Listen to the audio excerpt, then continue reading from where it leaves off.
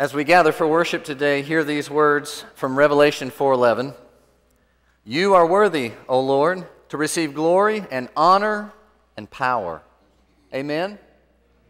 Good morning. It is great to see all of you here this morning. I confess that my family and I were on vacation last week, and there is nothing like vacation coming to an end and being here with you all on the Sunday morning the next day after. That's just the greatest thing. Uh, it really is great to be with you this morning, and we had a wonderful vacation. It was sunny. Um, we all got a lot of sun. We played in the water, and uh, it really and truly is to be to, good to be back, especially after the week that we had together, um, the week that we had in, in our nation this week. If you are a guest, we are glad that you're with us today. We hope that you will take the opportunity to fill out a guest card and turn that in and if you do that, we will take the opportunity this week to follow up with you and let you know that we are so glad that you joined us for worship today. As we gather for worship today, let's remember the mission team from the United African Church, one of our partner churches, um, who are in the Congo as they are doing their missionary work there uh, for uh, next several days, actually. Um, also, I just want to mention up front that we all know that this week was, this past week was a difficult week for our nation. And later in the service, we will take some time to reflect on the tragic events that occurred, and we will remember those who were directly impacted um, in prayer.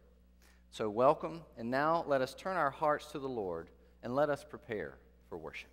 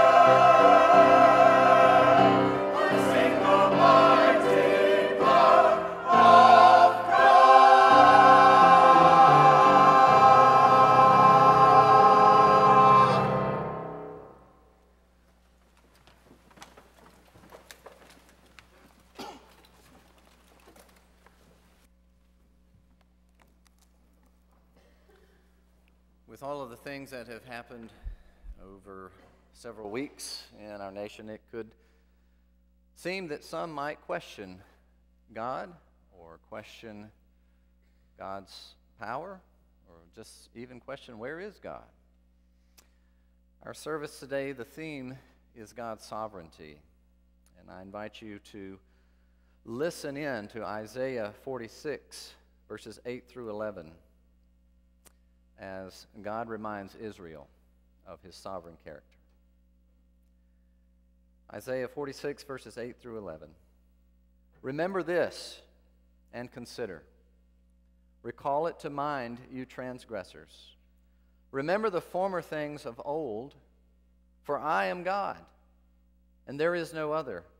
I am God, and there is no one like me, declaring the end from the beginning, and from ancient times things not yet done, saying, My purpose shall stand, and I will fulfill my intention.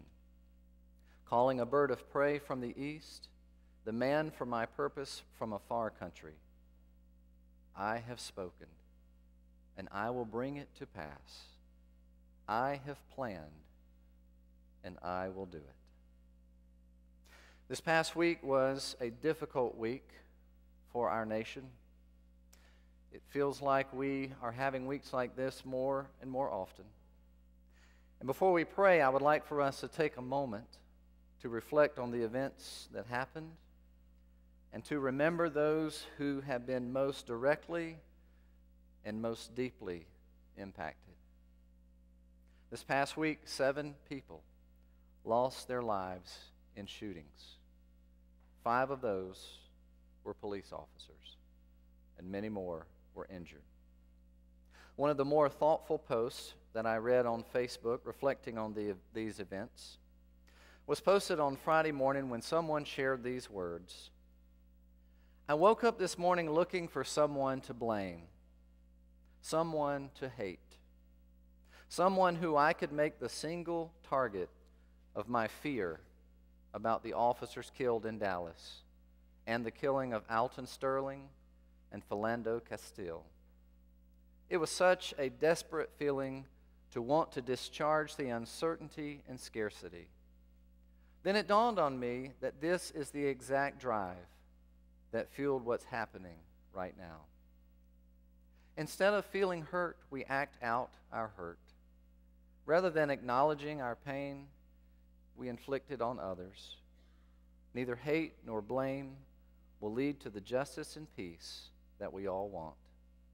It will only move us further apart. We can't forget that hate and blame are seductive. Anger is easier than grief. Blame is easier than real accountability. When we choose instant relief in the form of rage, we're in many ways choosing permanent grief for the world. I think these words echo how many of us have felt this past week. They certainly do for me. Dallas Willard, who is a well known author and um, a leader in spiritual formation, wrote these words in 2006. He said, Failure to know what God is really like and what his law requires destroys the soul, ruins society, and leads, leaves people to eternal ruin. As it says in Hosea 4 6, My people are destroyed for lack of knowledge. And in Hosea 4 14, a people without understanding comes to ruin. This tragic condition of Western culture today, which has put away the information about God, that God Himself has made available. I'm concerned about the spiritual condition of our society. And I think after this week, it's fair to say that we should all be. So I'd like for us to spend the next few moments together in silence, remembering those directly impacted by this week's tragedies, praying for our nation and then I will lead us in prayer. Will you join me?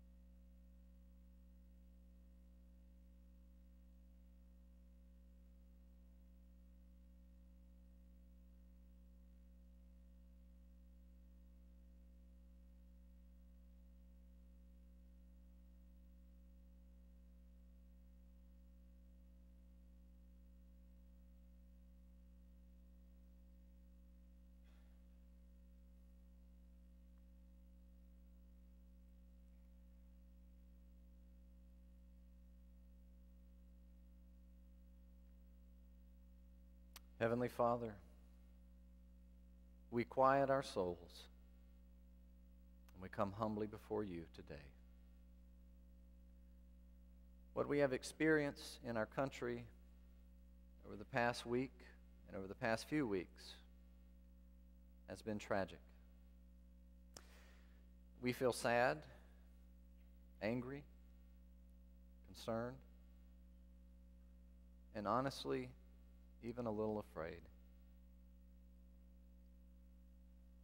Lord, we pray for the families and friends of those who lost their lives this past week. We pray that you will comfort those who need your love, who need your comfort the most. Father, we also pray for our healing, that you will bring healing to our broken lives, you will bring healing to our broken land.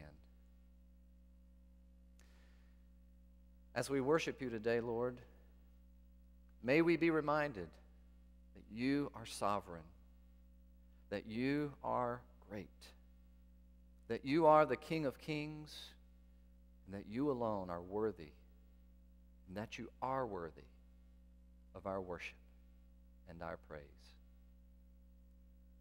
So, Father, we pray for healing in our land. We pray for healing in our hearts. And we pray that you will help us through our words and through our actions to be instruments of peace, reconciliation, and justice in whatever ways that we can be. Through Jesus Christ, our Lord, we pray. Amen.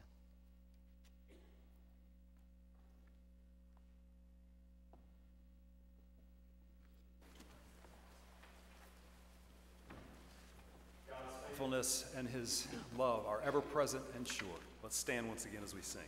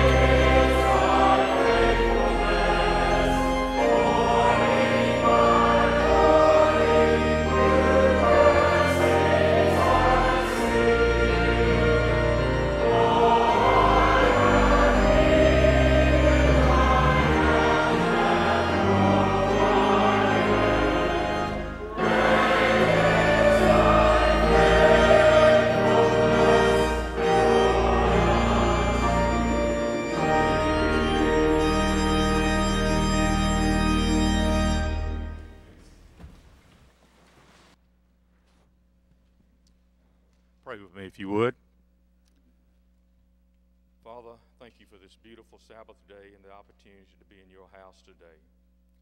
We especially ask that you be with those who are traveling, keep them safe today, and those who are sick and not able to be with us, lift them up. We especially ask that you strengthen us at this time of all the horrific things that are going on in our nation, that we may be strengthened and that we may be a nation of compassion and forgiveness. Now we ask that you take these tithes and offerings, bless them, that they may all be used to further your kingdom and to show your love to others. We ask these things in your name.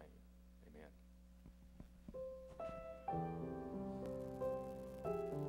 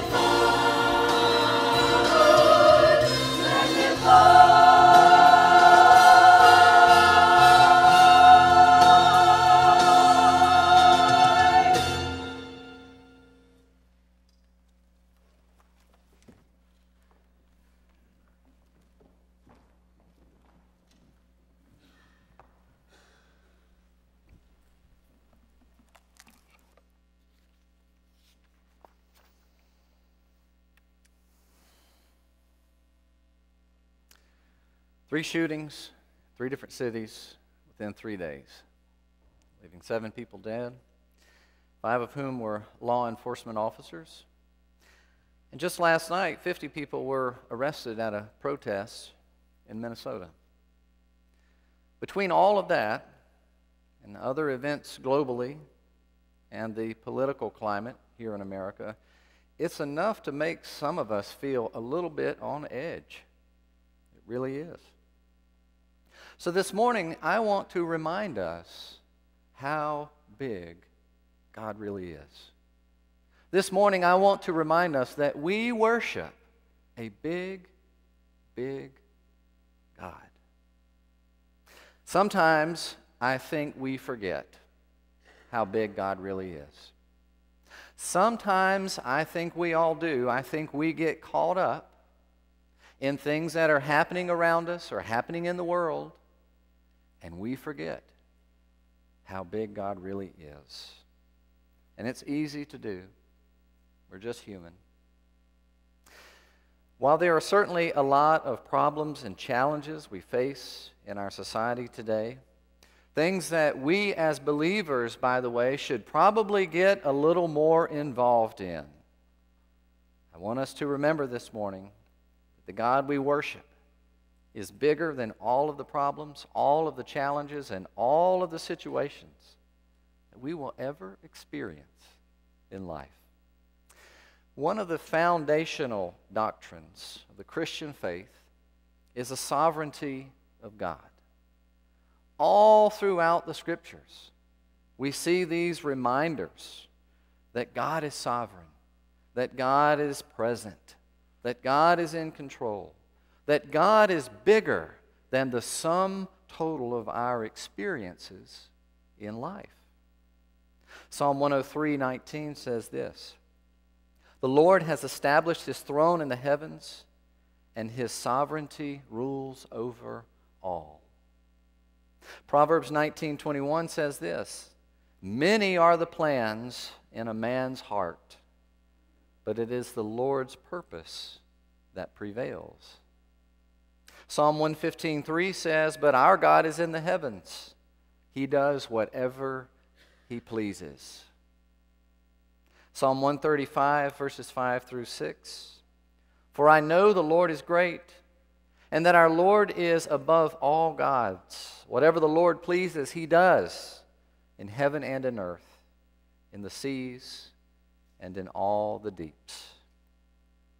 When we say that God is sovereign, what we mean is that there is no situation or circumstance that is outside of God's authority and control. Nothing happens, good or bad, without God knowing about it. Now, just let that sink in for a minute because that is not the way we experience life. When we look around, when we have things that happen to us in life, we might be tempted to say, wait a minute. That's a big pill to swallow.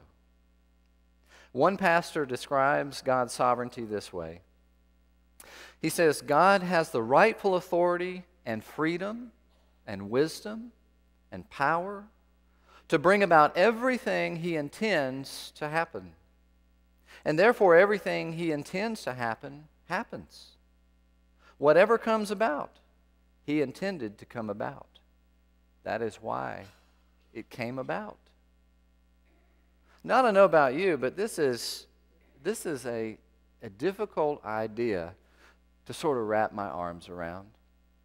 I think about God's sovereignty and I find myself asking questions like, well, if God is really so sovereign and so powerful, then why doesn't He just stop some of the things that happen in the world?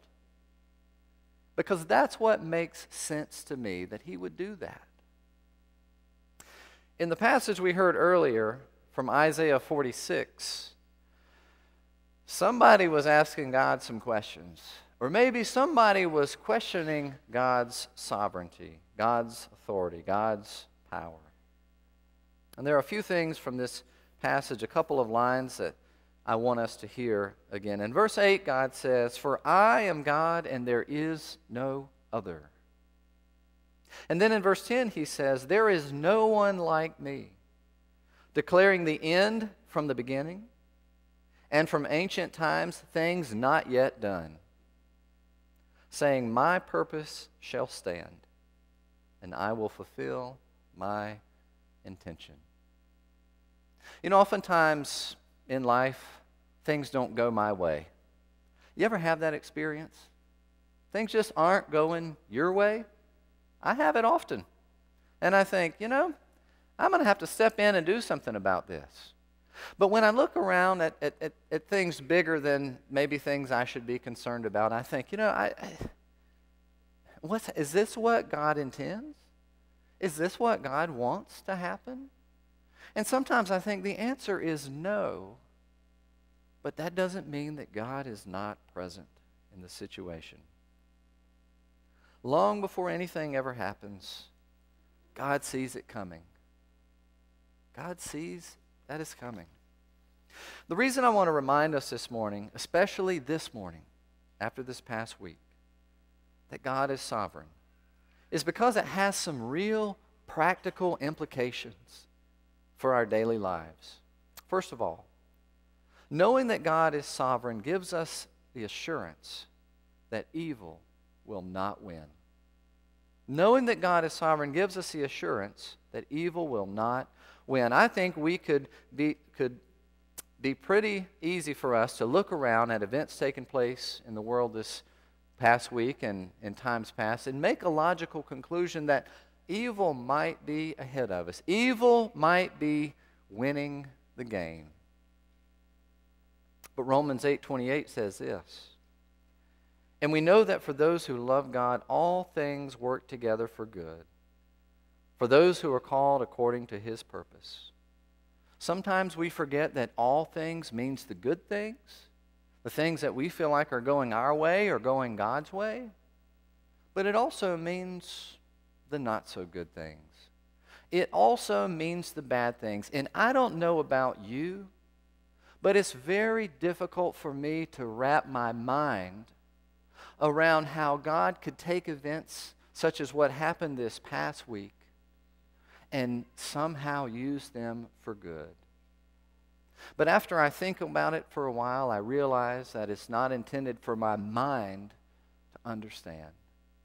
That to be able to see that God can work through situations like this requires faith. All things means all things, including the good things and the bad things. Secondly, knowing that God is sovereign means that we can be at peace with all of the things we don't understand. Knowing that God is sovereign means that we can be at peace with all of the things we don't understand. You know, I think back to the story in Genesis about Adam and Eve and how there's this apple tree and how God said, you know, you can have you can eat from any tree you want to. You can have fruit from over here, you can have fruit over there, but just don't eat from that one. And then Satan comes along and he says, You know, the fruit on all these trees is pretty good. But the fruit on that tree, let me tell you about the fruit on that tree, right? The fruit on that tree is so good. And not only that, but if you eat that fruit, you will know things like you don't know things before. Oh, we want to know so badly. We want to know things and understand things so badly. Even still today, it's one of our greatest sins. We want to know things that maybe we are not intended to know or understand. Each night, uh, when we are together as a family for dinner, we kind of take turns saying the blessing, praying at night. And um, sometimes I do it. Sometimes Hadley does it, Whitney, Parker. Well, last night we just asked Parker if he would say our blessing before we ate. And um, he did, and I thought it was really touching. In fact, Whitney and I just mentioned this briefly afterwards how he prayed for our food, he prayed for a lot of things, and he said, Lord, I don't understand everything that's happening. Because we had talked about the events that had happened this past week. He said, I don't understand everything that's happening, but I pray that you will make everyone be okay and help everything be better. And he continued in his prayer. I thought, you know what? A, that's where we need to be because it's so hard to understand. Would, why would God allow three shootings, three different cities in just three days? I don't understand it. I can't justify it. I don't think anyone can. And I certainly can't explain it. But what I can do is look at Philippians 4 7, which tells us that knowing God gives us a peace which surpasses all understanding. Knowing God gives us a peace which surpasses all understanding. You know, I don't know about you, but sometimes I run down the trail of trying to understand. And I run down the trail farther and farther and farther, and I run down the trail of trying to understand why things are happened, or why this happened, or why that happened. And I get to what is at least the end of the trail for me, and you know what? I still don't understand. But what this passage says is that trail of understanding will only lead us so far. But there's another trail, there's another path. There's something else that God gives to us, and that is a sense of peace in those things that we don't understand. And so I encourage you, when you find yourself running down that trail of understanding, trying to figure out, trying to understand what's happening or make sense of, maybe you're on the wrong trail. God offers us peace. Knowing that God is sovereign doesn't mean that we will understand everything that happens in life. But what it does mean is that we can have peace about whatever happens in life. And then, thirdly, knowing that God is sovereign should compel us all the more to seek God in prayer knowing that God is sovereign should compel us all the more to seek God in prayer. Let me ask you and myself this morning when was the last time you were compelled to pray? When was the last time you stopped everything you were doing and were compelled to pray? For me, it was this past week. The news kept coming in, and I thought, I need to pray. I texted some friends, let them know I was thinking about them, praying for them. Knowing that God is sovereign should compel us to pray and to ask for God's help. I don't want to sound too political. I don't mind sounding political, but that's not my purpose. But I want to say that I'm not sure that passing more legislation or trying to elect the right officials for office is really what this country needs. Now, I think those things can help. And I really and truly do think that we need to be more involved in ways that we think will help and make a difference in this country that we live in. But I believe even more than that, that what is most needed is a change of hearts. And I know and you know that it is through prayer that God changes hearts. So this morning, I want us to remember, I want us to know, I want us to walk out of these doors this morning and remember that we worship a big, big God. It is so easy to feel overwhelmed. It is so easy to let all of the news, the bad news, pour in and hear all the things that are happening in our world and think, we are, what are we going to do? What is going to happen next? But instead, this morning, I want us to walk out of those doors and I want us to be reminded that we worship a big God. We worship a sovereign God. We worship a God who looks down at the world, and I'm sure God's heart is completely broken over a lot of the things that he sees. But God is not out of the picture. God is present. God is there. God is with us, and God is for us. And if anything we can do, if there's anything we can do, we can call on God in prayer. And God's there for us. And there's one last thing that I would like to share. You know, it feels so, anytime I'm away for a Sunday, it feels like I've been gone for a month. Are you that way? Is it just me? Anytime I miss a Sunday and come back, it's like I feel like I've been gone forever because I'm always here. I love it. But so often we gather Sunday after Sunday and we look around and we see similar faces. And if we aren't careful, we can kind of take this for granted. But I think there's one thing, one last point that I want to make about this. And that is because we worship a sovereign God, we do gather together. We should be compelled to come together as often as possible in worship.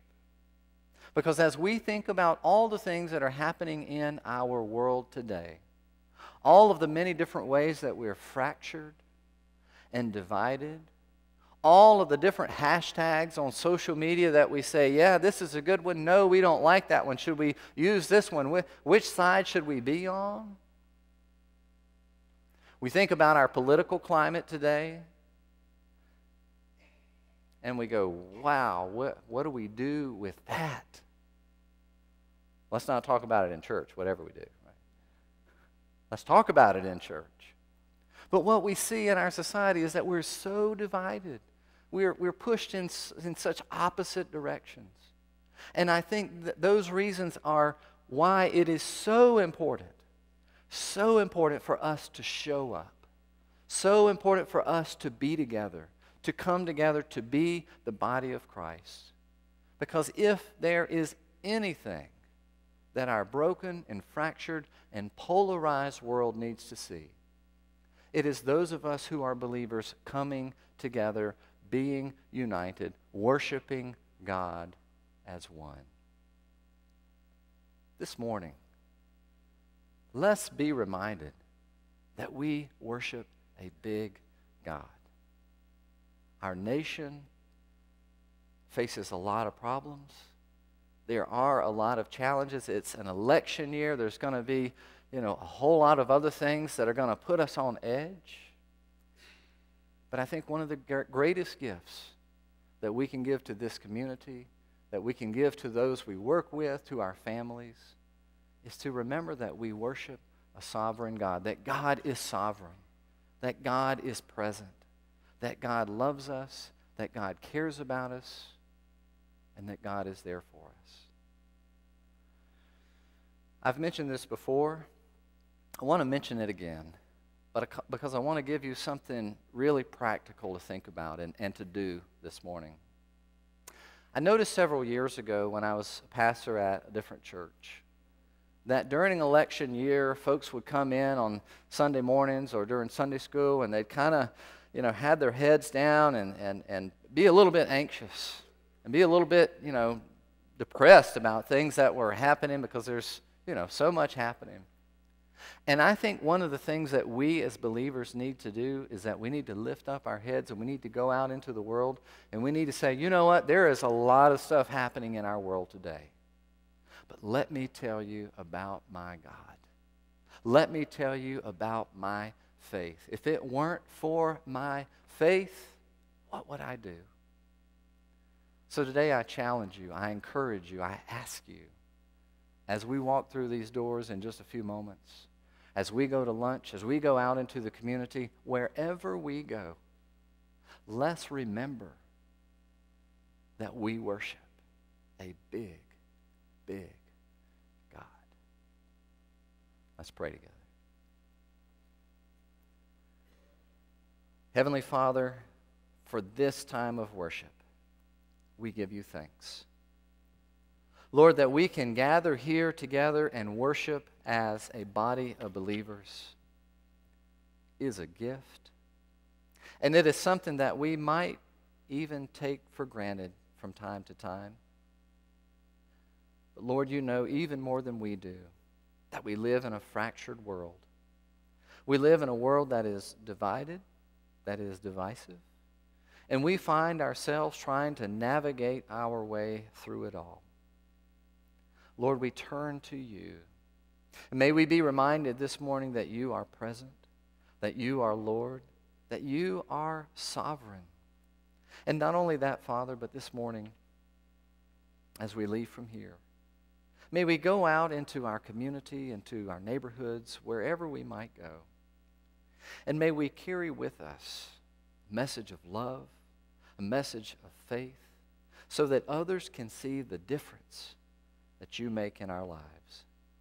Lord, you are sovereign. You are a big, big God, and we love you and we praise you for loving us.